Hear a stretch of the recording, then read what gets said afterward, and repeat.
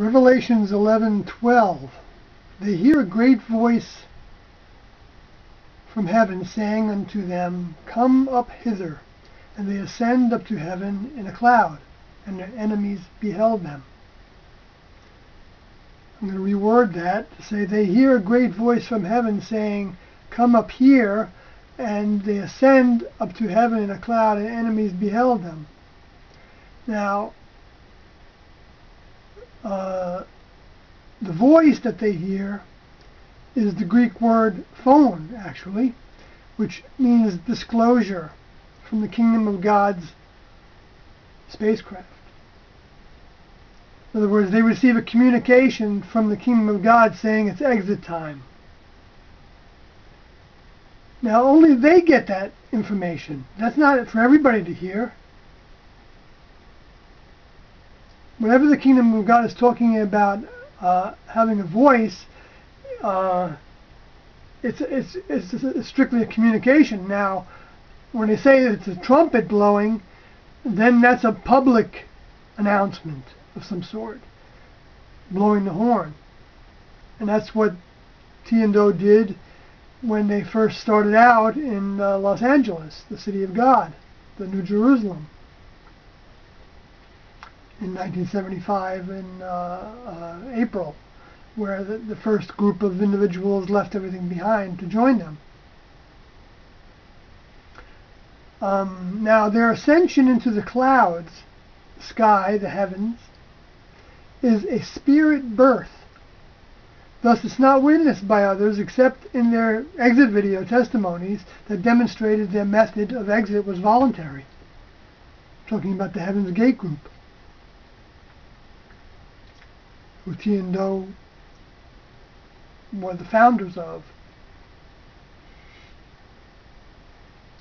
Um, so to think that they were supposed to take their physical bodies with them is not scriptural.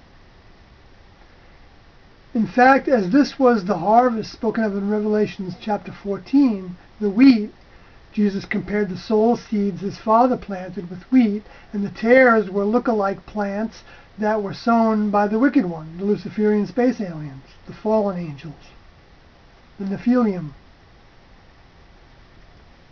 the Nephilim were actually uh, uh, the species, of the humans that were uh, that became a tribe uh, as a result of the Luciferian space aliens uh, cohabitating with uh, humans. And the only difference between the space aliens and humans is that the space aliens are individuals that at one time received uh, a soul implant um, by the kingdom of God, by the level above human, and uh, we're given, we're in a classroom situation to a certain degree, to where they were given, uh, they were close to graduating, to where they were, they gave their lives, and they were given uh, a, a, spacecraft and a new body to use, and that new body uh, lived a lot longer. But um, uh, but any, anyway, when they ended up uh, making uh, babies through whatever means, hybridization, or if they actually uh, were able to fertilize the humans, um, which they would have had to have plumbing to do so, you know, uh, human reproductive systems. Um, then their seed was passed to the human eggs, and therefore the humans' babies that came from that would have been of the same mindset, because that's, that sperm carries the genetic memory of uh, the father, the parent, as well as the, you know, the egg that carries the genetic uh, um, record of, of the the woman. But uh, in the case of the male, it's the genetic code is more up to date because uh, that's the way the sperm is generated uh, um, on the spot years after the, that egg had already been formed in, in the female. Anyway, so the, the well, I guess I want to go into Revelation chapter 14 just a little bit because it talks about who is actually found to be worthy of harvest. Uh, and Christians pay attention to this because uh, just just believing has its value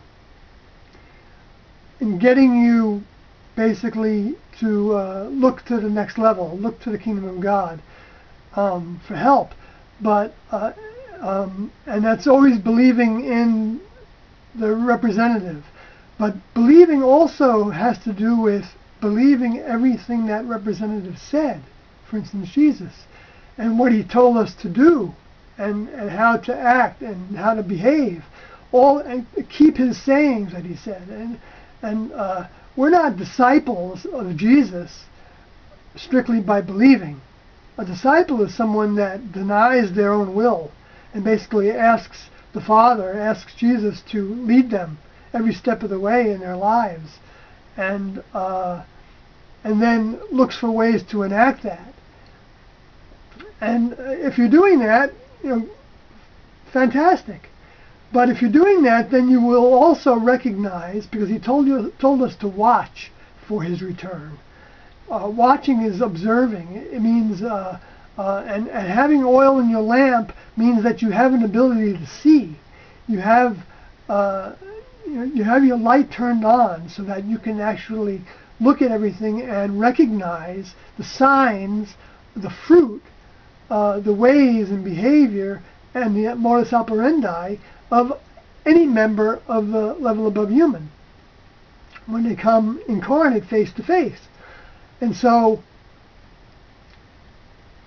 when when someone shows up like Ti and Do and they and everybody and a bunch of people uh, leave everything behind to be with them, uh, it doesn't mean that you should automatically believe it, uh, but you should sure as heck test it. And then when they actually lay down their lives voluntarily for the kingdom of God, uh, that's announced globally for the second time, uh, uh, if you don't pay attention to that and examine it considerably, you know, really give it consideration, then you're actually cutting yourself off from the kingdom of God if you're not observing.